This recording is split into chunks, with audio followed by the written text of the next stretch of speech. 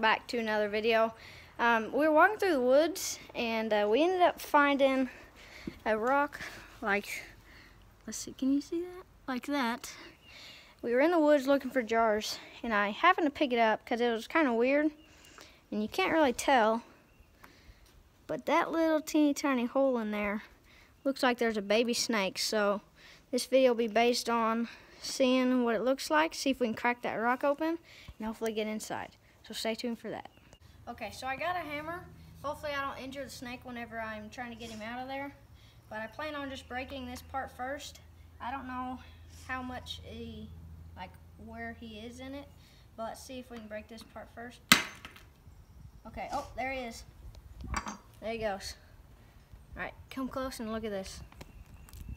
There you go. There's the baby snake. Oh my gosh.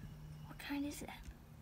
Have you ever seen on those shows where it's like snakes with a ring are dangerous? I don't know. Alright. So there's the baby snake. I don't know what kind it is. Let me know if you can. Oops, what kind that is. I don't want to mess, I don't want to get bit because I don't know what kind that is at all.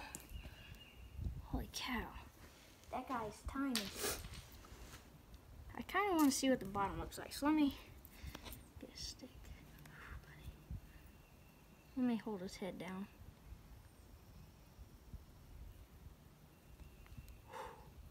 Man, that, ooh, buddy. He's nervous. Looks like, man, I don't know. Here, I'll have to do some research and then I'll get back with you guys. Okay, so I've just done some research on it.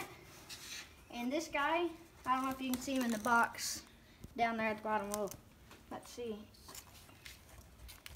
This guy is called a ring-necked snake. He does have mild venom in it, which I kind of didn't realize that till just now. We looked it up.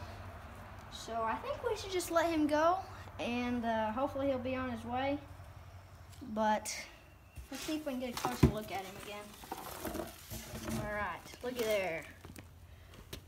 That is a small guy. Hopefully he won't bite me, but here's the comparison of my hand compared to him. And I'm a small kid, so it's pretty crazy. Especially we found him in that weird looking rock. Actually, it wasn't even a rock, it looks like. It was like, what, cement or something?